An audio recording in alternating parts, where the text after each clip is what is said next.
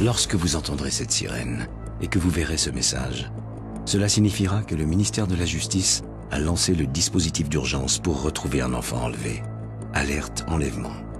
Une description de l'enfant enlevé, sa photo, la date, l'heure et le lieu de l'enlèvement vous seront communiqués, ainsi que des informations sur le suspect. N'agissez pas seul.